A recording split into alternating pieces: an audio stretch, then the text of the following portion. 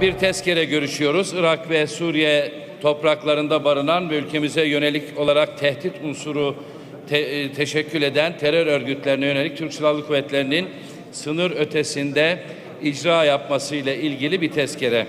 Hükümete iki soru yöneltmek, iki de haddimiz olmayarak tavsiyede bulunmak istiyoruz.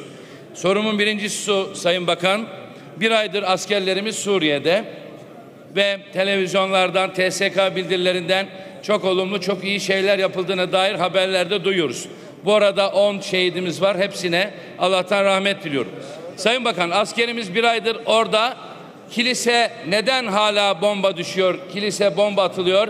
Kilis halkının can ve mal güvenliğini bile sağlayamazken askerimizin orada Türkiye'ye yönelik tehditleri nasıl bertaraf edeceğini çok merak ediyoruz.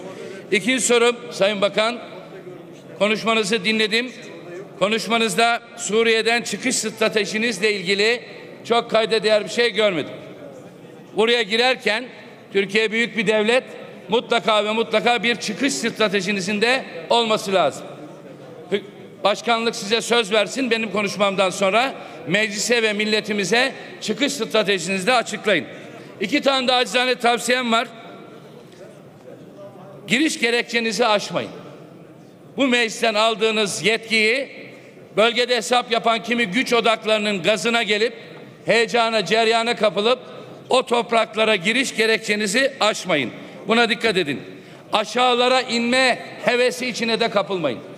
Türkiye'yi, Türk Silahlı Kuvvetleri'ni dipsiz bir kuyuya bir kaos bölgede yeniden oluşturulacak bir kaos ort- e, ortamının ikliminin baş aktörü haline getirmeyin.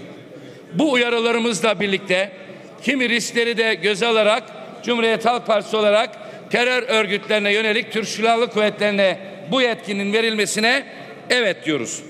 Ancak yurtta kutuplaşma, bölgede ve dünyada savaş, cihat şiarından vazgeçmek durumundasınız.